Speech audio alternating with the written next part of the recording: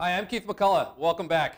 Today I'm with Charles Biderman. He's the founder and chairman of TrimTabs. Many of you, I'm sure, are familiar with Charles's work. I wanted to just get into the market with him and a variety of issues that I'm sure you care about. So, Charles, thanks for making some time here. Oh, good, good to be with you. Coming all the way uh, over from Sausalito, California to beautiful Stamford. I'm, Yep. think- I'm hearing you're going to move here, right? Yeah, well, uh, I want to un, under one of the trees uh, after I clear the snow. That's perfect. If you're uh, so, let's just kind of get into the the market. Like, what what do you what do you think's going on underneath the hood here from a fund flow perspective? Before fund flows, the most important thing from my point of view is since 2010, companies have bought back more than a trillion dollars of their own shares, greater than the amount of new offerings they sold and insider selling. Huge. So in other words, there's been over a trillion dollars of float shrink as we track it. And so add to that, you've had the Federal Reserve and other central banks have created trillions of dollars of new money mm-hmm. that have gone into financial assets. So what to me has been obvious has been going on. There's been more money chasing fewer shares. Mm-hmm. I think we call it supply and demand. Yeah. So float shrink. I mean, most people actually don't specifically call it that, but that's what it is. Yeah. So you're basically talking about a smaller pie that people have to basically be forced into. Yes. And, and uh, the other part of it, uh, float shrink, that most people don't realize, uh, or about the market itself, I mean, I say that current price is a function of supply and demand of shares of stock and money, having nothing to do with earnings, interest rates, or expected future value of cash distributions. It has to do with supply and demand of shares of stock and money right now.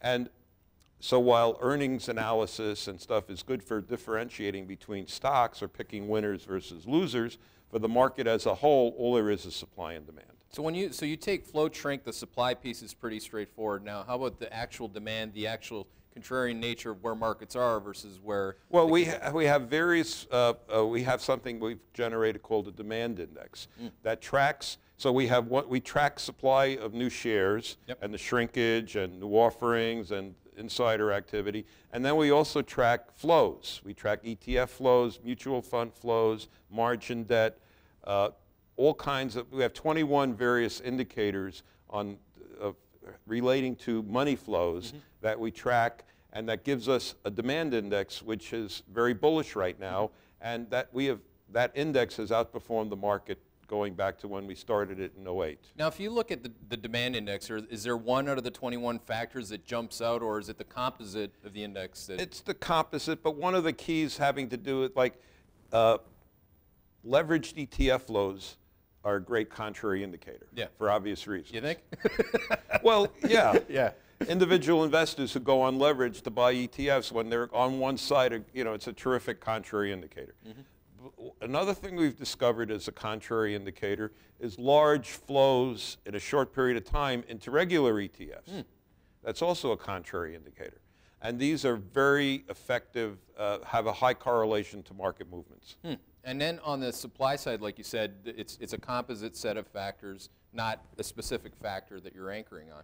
Well, yeah, the, we look at uh, uh, aggregate change in the number of shares in the market. We actually have that by ticker and on, an, and by aggregate uh, on a daily basis. We can tell you how many shares are in the stock market, in the, say the Russell 3000, uh, every day. You're daily counting supply, basically, on that front. Yes, Now, and demand. We count daily supply and demand. so how do you You like? ever hear that, supply and demand? Exactly. So, so what what happens when? So you got a narrative of a of an IPO pipe that starts to build. Right. At what point do you think it'll actually the delta or the, the rate of change will go to the positive given the amount of issuance? It's Well, well, there's actually been uh, positive issuance of shares so far in March. A positive to offset the degradation of the buybacks. Yes. And that's We've how you look actually seen a very modest increase in the number of shares outstanding uh, from an announced point of view. Yeah. W- We track announced by, uh, for the short term, we can't see actual historic changes, which we can get from Qs and Ks and Right.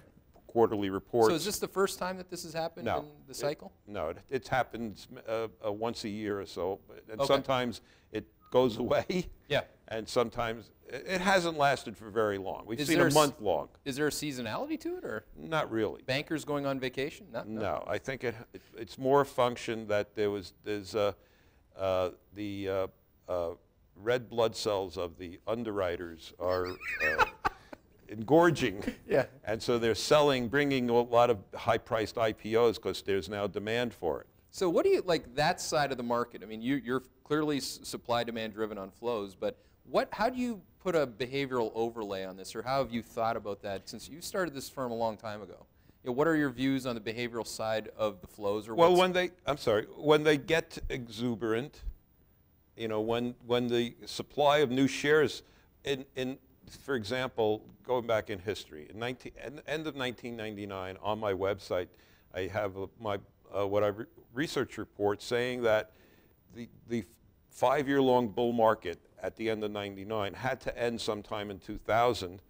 I think I thought early 2000. It ended up going all the way to April for the Nasdaq and August for the S&P 500, and that I saw between shares unlocking from IPOs in 97, 98, and 99. Remember that typically for Yeah. those internet they would sell 10%, Right.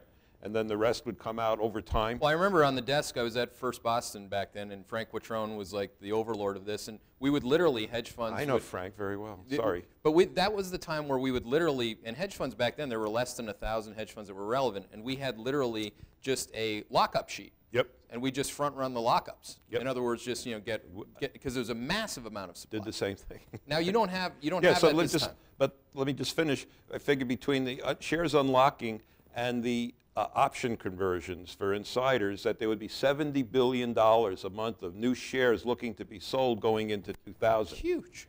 And I didn't think the market could absorb 70 billion. But I was wrong for the first few months. Why? Because margin debt spiked. Yep. And so people who had spent all their money on Cisco and Qualcomm at 100 or, or JDS Uniphase, picking names from Yep. the past, um, that they were borrowing to get in at the top. Yeah, exactly. Well, now today, I mean, a lot of people pull up this margin debt chart. I mean, it's it's frightening. But you also have Twitter and Facebook issue. You know, the, the, the stock's not all out there. I mean, Yeah, but the, but the one point about margin debt, it's not growing faster than the market yet. Mm. so you're looking at rate of change relative to the market's Yeah, actually, margin debt is bullish historically. When margin debt, as long as it doesn't go up a multiple of the well, market it's, it's change. interesting you say that because I've overlaid it as well. It's, it looks much more like a coincident indicator than It is does right like now. A, Yeah, well, as prices go up. But a guy who's just trying to go, hey, here's an oh my god chart. It just looks like a big chart, so I guess people think that it's some kind of a contrarian. Yeah, no, it, it's not. So you're looking for the rate of change in the market's gains relative Yeah. to the ascent of that. It- it- until it gets to where it's a multiple of the market change, it's actually a bullish indicator for the market if margin debt goes up. Nice. Now, on the question that I just asked with Twitter, Facebook, Oh, do you sorry. see do you see any analog to the kind of the stock you can't see that's coming down the pipe relative to the 2000? It's no, it's nowhere near. It's a handful of big companies. Yes. It's not like there was a hundred internet startups and they were all going to the moon and everybody was buying them and everybody Yep. was was praying that uh, they would be able to get out in time. Mm-hmm. And uh, the one caveat I do have for your viewers at this point in time, we're now March uh, March 20th. Beware of the Ides of April.